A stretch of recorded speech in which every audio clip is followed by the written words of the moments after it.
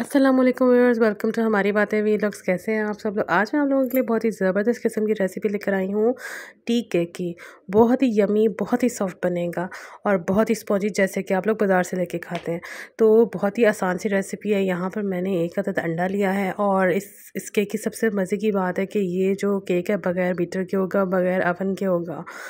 तो और आपको सिर्फ़ हैंड से वेस्ट करना पड़ेगा, वो भी ज़्यादा नहीं। तो यहाँ मैंने एक अंडा लिया है, एक अंडे से मैंने अंडे को अच्छे तरीके से मैंने फेंट लिया, तकरीबन पाँच से छः मिनट के लिए मैंने इसको विस्क किया था। और क्या कहते हैं, इतना भी नहीं ज़्यादा कि उसकी झाग बन जाए, जैसे कि हम बीटर से करते तो उसकी बीटर से झाग बन जाती है। आप ट्राई करके देखिएगा, सिर्फ़ पाँच से छः मिनट मैंने इसको बीट करना है। और बीट करने के बाद फिर मैंने ले, लेना है आधा कप ऑयल ठीक है? आधा कप ऑयल मैंने लेना है, वो मैंने सारा ही डाल देना है और दो कप्स लेने हैं, जिसमें एक में मैंने मैदा डालना है और उसी कप में मैंने एक कप से थोड़ी कम चीनी डालनी है। आप चाहे तो बराबर भी डाल सकते हैं, लेकिन जो शुगर कम यूज़ करते हैं, वो थोड़ी कम ही यूज़ कर लें। तो मैंने शुगर डाल देनी और साथ में मैंने थोड़ा सा दूध ले लेना है, ठीक है? और कोशिश करें कि आप लोग रूम टेम्परेचर का दूध लें, ना गर्म हो, ना ठंडा हो। अगर नरम होगा तो उससे भी केक अच्छा गर्म होगा तो उससे भी केक अच्छा नहीं बनेगा और अगर दूध ठंडा होगा तो उससे आपका केक सॉफ्ट नहीं बनेगा, स्पॉन्जी नहीं बनेगा, सख्त हो जाएगा। आपका जो केक है वो हार्ड हो जाएगा। तो जो दूध है वो हमने थोड़ा थोड़ा करके ग्रेजुअली हमने ऐड करना है। ऑयल हमने और चीनी हमने पहले से ही ऐड कर लेनी है। दूध हमने इसलिए ऐड करना है कि जो हमने चीनी डाली है वो अच्छे से जो है ना वो मिक्स हो जाए। उसको कोई भी लम्ब जो है वो दूध में केक मेरा बाकी ना रह जाए। तो इसको अच्छे से हमने फेंटने के बाद हमने इसमें डाल देना है मैदा। ठीक है, वो चाहे तो आप ग्रेजुअली डालें, चाहे तो वो एक साथ ही डालें सारा। मैंने तो एक साथ ही डाली थी क्योंकि मेरे साथ होते हैं बच्चे, मुझे बच्चों को भी देखना होता है, बस मैं जैसे तैसे करके ना रेसिपी को बना लेती हूँ, लेकिन अल्हम्दुलिल्लाह जब भी बनी है ना, अच्छे ही केक्स बने हैं। जब भी केक मैंने बनाए अच्छे बने हैं, क्योंकि अब बच्चों के साथ जो बच्चों वाली होती हैं, उनको तो ऑब्वियसली हमने एक टाइम मैनेजमेंट रखी होती है कि आधे घंटे, एक घंटे में हमने ये काम करने हैं। तो यहाँ पे हम लोगों ने मैदा सारा डाल के, हम, मैंने आपको पहले भी बताया कि दूध हमने ग्रेजुअली डालना है।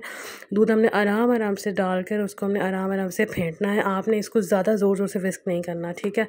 उसके बाद हमने यहाँ पर one tea, half teaspoon हमने बेकिंग सोडा लेना है, वन टीस्पून हमने बेकिंग पाउडर लेना है, उसके बाद हमने हल्का सा कलर, येलो फ़ूड कलर डालना है, और भी यहाँ पे वनीला एसेंस डालना है, ये ऑप्शनल है, आप डालें या ना डालें, और यहाँ पे लेनी है हमने किशमिश, ठीक है?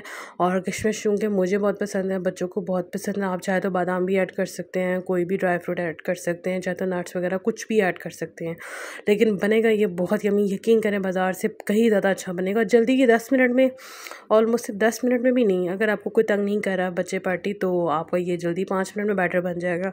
तो बैटर को हमने लेके पहले से ही हमने ग्रीस करके रख लेना है, हमने बटर पेपर को बर्तन में। तो यहाँ पे फिर हमने ऊपर से भी ऑप्शनल है, ये भी आपकी मर्ज़ी है कि आप डालें या ना डालें किशमिश।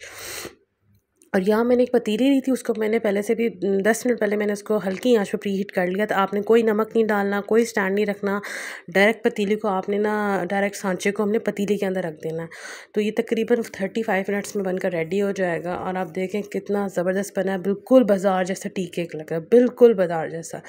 यकीन करें, जो दूध में बने हुए केक होते हैं ना, वो इतने स्पॉन्जी होते हैं ना, कुछ लोग ज़्यादा अंडे डाल लेते हैं तो अंडे की स्मेल नहीं जाती। मैं कभी कभी अंडा डालती ही नहीं हूँ, मैं दूध या दही डाल लेती करती होती हूँ। तो ये बहुत ही ज़बरदस्त रेसिपी आप ट्राई करके देखिएगा, आपको खा के बड़ा मज़ा आएगा। और वैसे मैंने ना वीडियो के लिए थोड़ी शुगर ज़्यादा रखी थी, लेकिन मैं शुगर बहुत कम डालती हूँ। आधे कप से भी थोड़ी कम शुगर यूज़ करती हूँ, या फिर यूज़ कर लेती हूँ शक्कर।